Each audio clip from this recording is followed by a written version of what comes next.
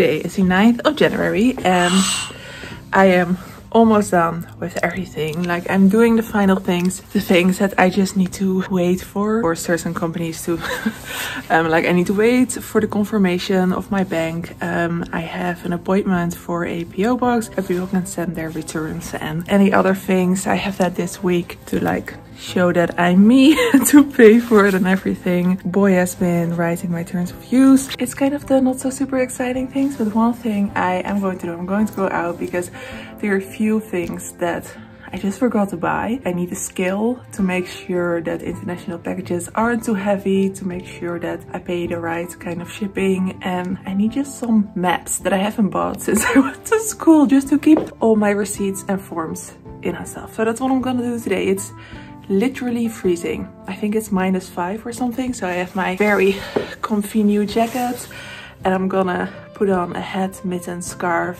everything. I'm going to go out.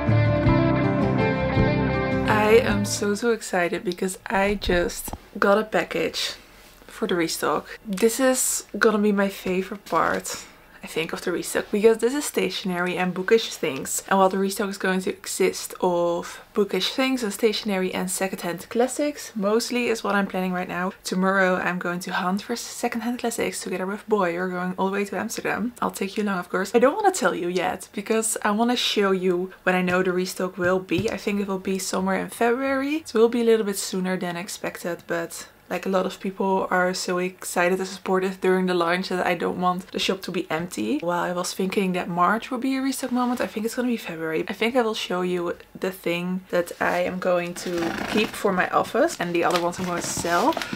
Um, and then in a later vlog, I will show you everything. There's someone at my door. Okay, we're back. okay, I have it right here. Yes! Permission to scream! This is a Bronte mug. Look at their beauty. Ooh, there's a little bio about them as well. It has a quote, it says, I love the silent hour of night for blissful dreams may then arise, revealing to my charmed sight what may not bless my waking eyes.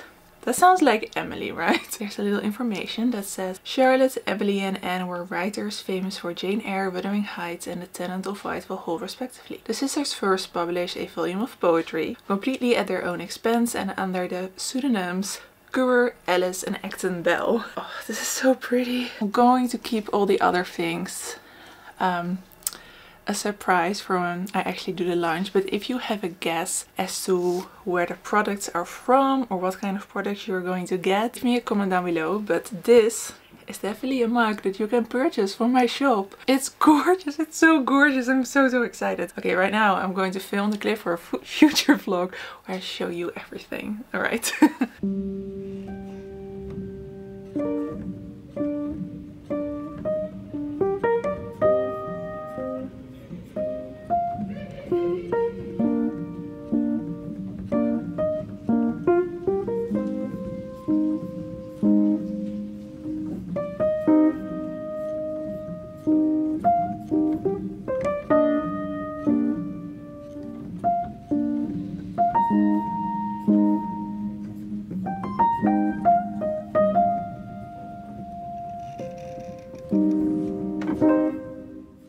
Hi, um, welcome to Friday. I don't know what date it is. All I know is that my bookshop has been open for a whole week now and it's been incredibly overwhelming, but in a good way. I think. I've noticed that right now the orders are slowing down a bit. It's very two-sided because on one side I feel like panicky like oh my gosh like was this just a fling and what's happening now and you know the, the whole thing and and on the other side I'm like okay this means I can focus on some things that didn't go super well so I had some issues with international shipping sorted all of that out oh and I did go to two bookshops to get a restock into the Book in Zwolle which I have now made friends with the lovely lovely new owner there uh, Lotte who is really lovely and she kind of wanted to decrease her secondhand collection so I DM'd her asking her what about your classics collection? Can I come by? Can we like discuss something? And she gave me a really good price for those books because they just don't really belong in her version of the store but they do very much belong in my store. So I'm really glad we were able to just have a lovely chat together and be able to like help each other out a bit. And then I also went to Amsterdam to the book exchange which is I think the biggest second-hand English bookstore in the Netherlands. And while I did get some stock from there. I don't think I'll be going back there because I did kind of expect that maybe they were more expensive. I can still offer a good price but I will make very little profit on those books so that's not ideal. Very very critical on the books that I picked up from there and I did get some books that I'm really glad to offer to you or that I noticed were like doing well, books that people want. Those are the things I've been doing and then right now I think there's some time to work on marketing. It's such a dirty word but it's very important especially if you don't have a physical store like people don't walk by my store and think like oh let's browse. No I have to persuade people to browse. So a few things I'm doing is I'm sending books to fellow content creators which is actually really lovely to do. So right now, before it's Friday and I'm sending out a few packages and I want to take this one with me. And one of the content creators, Paula, picked Frankenstein by Mary Shelley. This is a Dutch translation. Such, such a good pick because I also really love these editions, which maybe it will be a future thing that I have new editions of these ones as well. Not in the near future, I think. It's a bit of a chore to fold these, to be honest, and I don't 100% have gotten the hang of it. Um, but one of the oh my gosh, one of the first things I do is I use this this stamp and I have a yellow stamp as well. You can't see it super well, but it really fits my logo, so I'm just going to stick to it. And I should get a bigger pad because I have to like stamp all over. Um, but while I do that, I thought we could chat about the books that I've been reading. So for vlog, I was reading Fourth Wing, which is not a book I ever thought I would really read or let alone give five stars, but I did.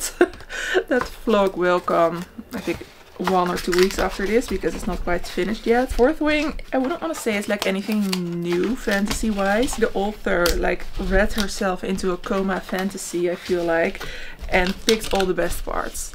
All the best parts of the existing fantasies we have and she just put it into one book and while I was at points, oh, this is a lot like Hunger Games, or this is a lot like Shadow and Bone, or a lot like Harry Potter, she just picked the best parts and all the things that were maybe not amazing about those books. And well, I don't really have any criticism on the writing in Harry Potter, but she just picked the best parts. And then also she added this explosive romance. She added smut. I am, I am in love with the male main character in this book.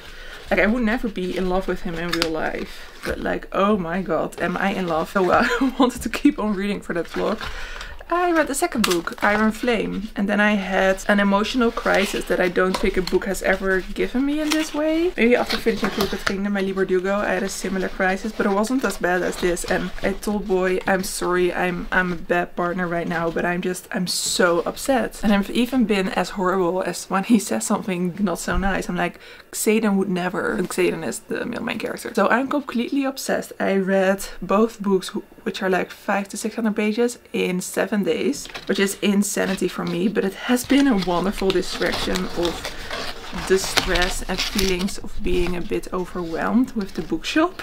So yeah, actually it was kind of perfect timing to read that now that I finished that, I'm still like in such a fantasy mood. Can you imagine reading two fantasy books and being in a big fantasy mood? But I did decide to pick up one of the classics of my winter TBR before it's like not winter anymore. It's not seasonal read anymore. And I really need to get used again to the more ambiguous literary writing. But this book is about two friends who live in Norway. I don't really know what the time period is. It's a bit vague. Um, ooh, let's add a gift bag for Paula. Okay, let's random color. Ooh, this is Wow, that was random, but this is pretty. I'm adding that because it's a gift, of course, for her, but if you want your books to be packed in this, you can add a gift wrapping option. I mean, you can do it for yourself if you want to, but it's kind of meant um, for you to give. Your book will be wrapped in this pretty little thing with a little card that I'm going to Paula's name on, of course. But yeah, that is the book and it's basically like Frozen but with friends instead of sisters because the more shy character, she entered this ice palace and the descriptions of the ice palace are really, really beautiful. But I'm only 50 pages in. It's not a big book, I think. 150 pages. But I really have to get used to changing my mindset, not consuming the story because I want to know what happens, but like consuming the writing, which I feel like is kind of the difference with more popular fiction and classics and literary fiction. So I, I really need to have a bit of a mindset change. Then I think I will enjoy it. I'm going to print the label, do everything, and then hopefully it will stop raining at some point so I can deliver these packages. I think I'll give you a little reading update when I have finished uh, my book.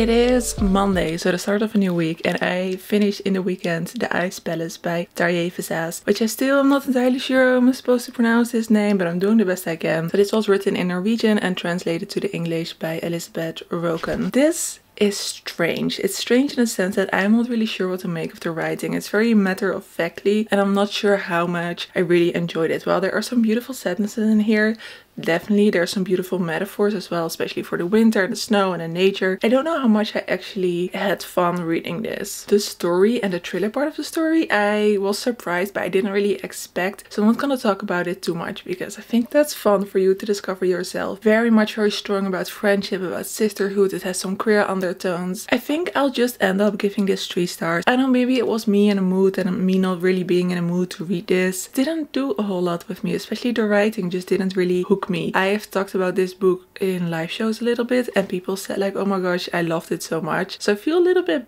bad for not loving it as much as I did, but this just didn't do it for me, I think. Let's show you a couple of sentences that I did really like. The ice on the lake shone so brightly that it did not look like ice at all.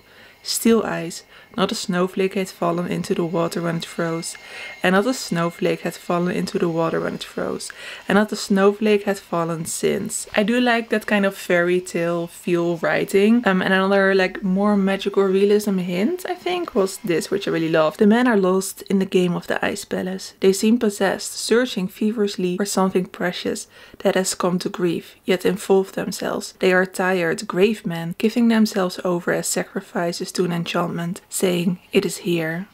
They stand at the foot of the ice walls when tense faces, ready to break into a song of mourning before they closed. Compelling palace. If one of them had been impetuous enough to begin, all of them would have joined in. So I do like the more psychic parts of this. Yes, difficult book to review, but I'm gonna give it three stars for now. And I'm going to continue with reading books for the Goodreads prize, which will be a vlog that you can expect in a little bit. This week is gonna be a bit slower bookshop wise. I did get two orders over the weekend, so I will pack those in a little bit and ship them. Thank you so much to the lovely people who placed an order. Sometimes when I see an order and I see someone picking a book, I'm like, oh my gosh, yes, you have amazing taste. of course, makes sense that I feel that way when it's a book that I selected for a bookshop.